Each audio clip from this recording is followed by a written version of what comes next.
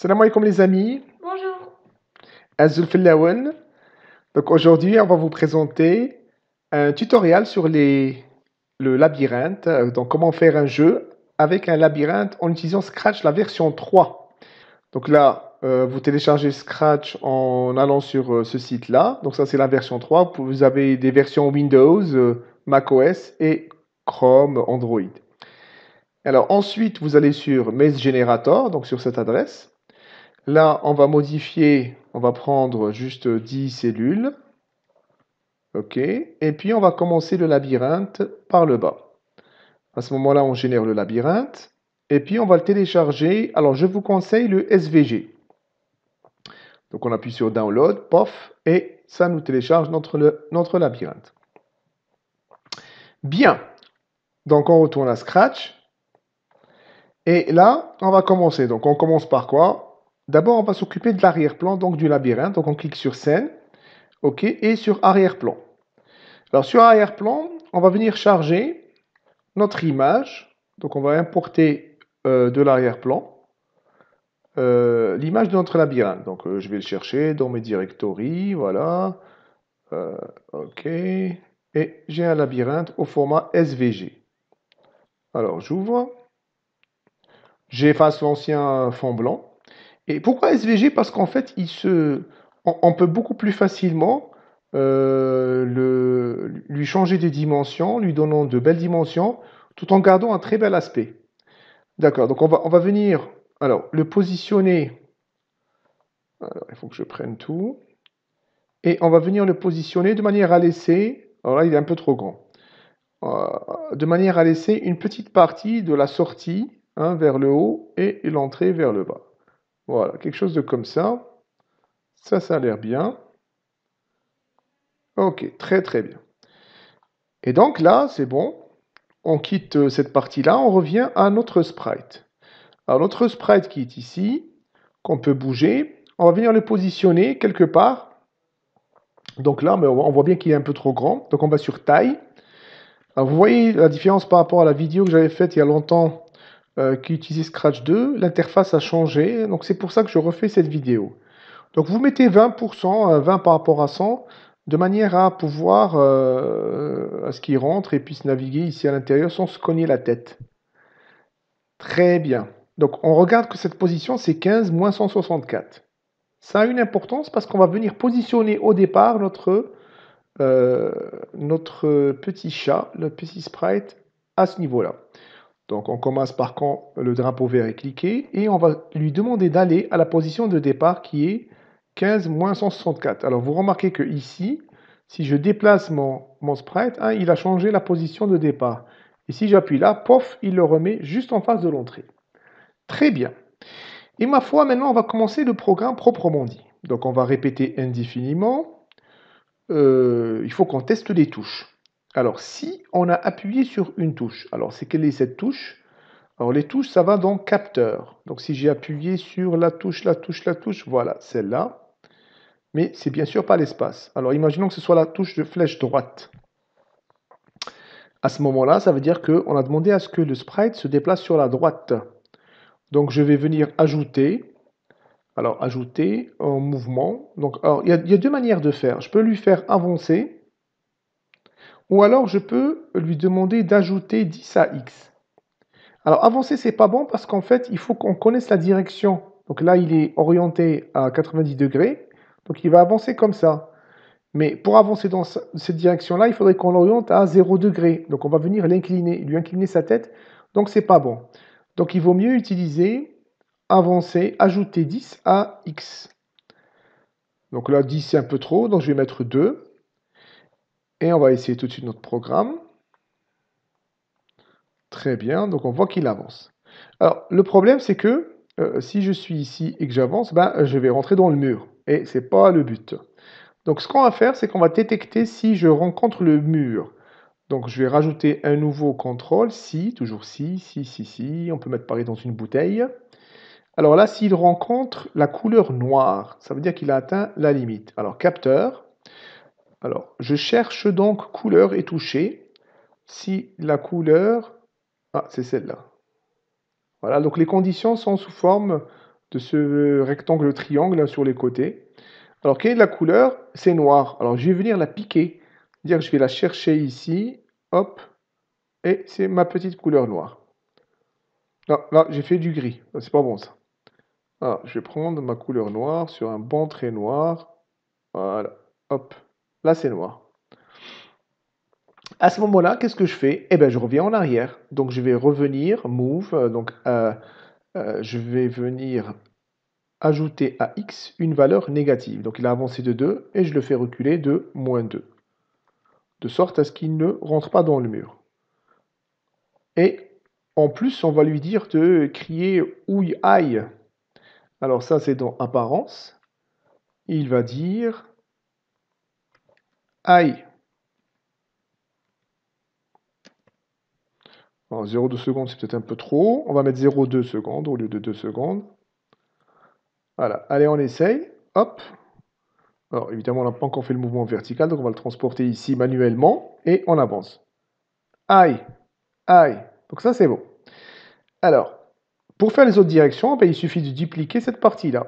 Donc je fais bouton droit sur le premier ici, et là, j'ai le premier, et je vais venir aussi le dupliquer et le mettre en dessous. Alors, alors, vous remarquez ici, je veux aller à gauche, donc je vais mettre moins 2. Pareil, si je dois rebondir, je dois rajouter plus 2. Et la touche, c'est la touche de gauche. Très bien. Alors, ça par contre, je veux aller vers le haut, flèche haut. Et dans ce cas-là, je ne vais pas rajouter à x, je vais rajouter à y. Donc je vais chercher ajouter à y. Elle est là. Voilà, voilà. J'en ai besoin deux fois, donc je la duplique. Donc ici, je dois rajouter 2. Et ici, je dois retrancher moins 2. Alors, il faut que je la remplace ici. Oi, oi, oi. C'est la partie la plus embêtante, moi, je trouve, dans Scratch. C'est que pour effacer ou pour remplacer, mais on va pas se plaindre, c'est déjà bien fait. Voilà, donc on a ajouté 2 à Y. Si je tape le mur, je retranche 2 à Y et je crie. Et celui-là, on le duplique pour faire flèche vers le bas. Ah, j'ai besoin d'un peu d'espace. Voilà, et je le colle en dessous. Alors, donc ça, c'est la flèche vers le bas. Et je vais lui retrancher moins 2. Et ici, je lui rajoute plus 2. Alors, on prend tous ces blocs, on les met à la queue leu. Et on les remet, alors il ne faut pas se tromper, sur le dernier bloc. Et c'est parti mon kiki. Alors, on essaye. Voilà, ça marche bien. Pouf, aïe, aïe, et je peux descendre. Très, très bien. Donc là, j'ai réussi à faire bouger mon personnage. OK Et le but, bien sûr, c'est de l'amener à la sortie. Alors, qu'est-ce qu'on va faire? Eh bien, on va rajouter un sprite. Donc, il va euh, arriver ici, il va le rencontrer. Donc là, je clique ici sur Nouveau sprite. Alors, je tape euh, gâteau. Alors, je sais pas, ils ont ça, ça s'appelle cake en anglais. Très bien. Et je vais le venir positionner ici. Pareil, il est un peu trop gros, donc on va le diminuer. On le met juste à la sortie, juste en face, prêt à être mangé, miam miam. Très très bien. un petit peu plus peut-être. Voilà. OK. Donc il faut écrire un code pour que on sache que ce sprite-là a atteint le gâteau. Donc je viens ici et je vais rajouter un code. Donc je vais commencer par un événement ici. Et on va attendre que euh, jusqu'à ce que le chat touche ce gâteau qui s'appelle cake. Donc contrôle, attendre non pas une seconde, mais attendre qu'il y ait un événement. Voilà. Attendre jusqu'à ce que quelque chose arrive. Alors, qu'est-ce que c'est que ce quelque chose? C'est que j'utilise mon capteur, c'est qu'il touche quelque chose. Alors, qu'est-ce que c'est que ce quelque chose? Allez, on pousse encore. Le cake. À ce moment-là, il va envoyer ce qu'on appelle des messages. Alors, les messages, c'est des événements. Alors, envoyer à tous un message et attendre, ou bien envoyer à tous un message. Donc je peux envoyer à tous un message. Alors quel est ce message? Je vais marquer euh, cake touché. OK.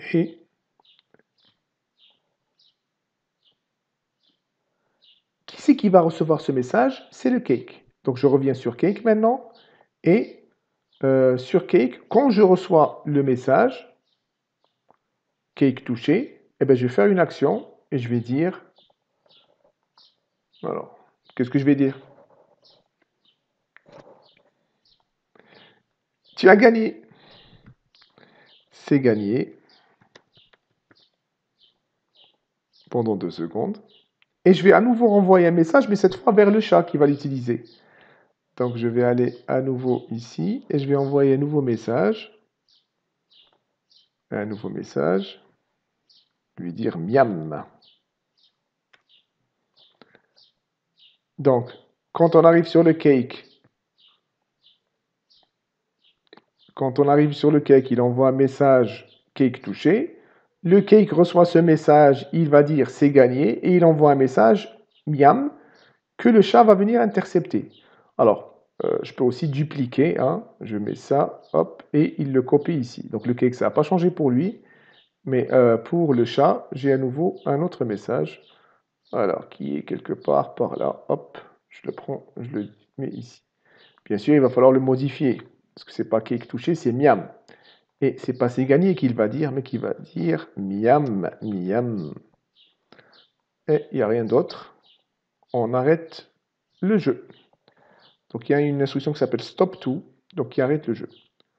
Ok Allez, on s'amuse. Donc je commence, voilà, aïe. il va falloir quand même faire attention. Attention aux pieds, attention à la tête. Ah, c'est la mauvaise sortie. Il fallait partir de l'autre côté. Je suis pas bon, hein hmm, Ah ben, on s'amuse comme on peut. Ok. Hop.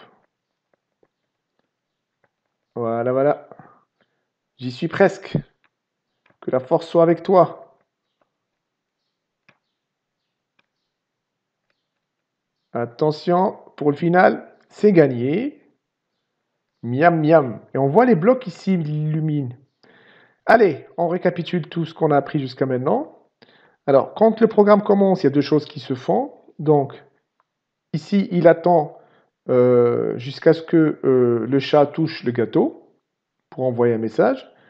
Et ici, il se positionne au départ. Et il répète indéfiniment la gestion des touches. Donc si jamais une des touches est pressée, il avance dans la bonne direction. il détecte si jamais on touche le bord euh, du labyrinthe, donc par exemple donc la couleur noire c'est le mur, alors il revient de la, de la, même quantité avec laquelle il avait avancé mais dans la direction opposée.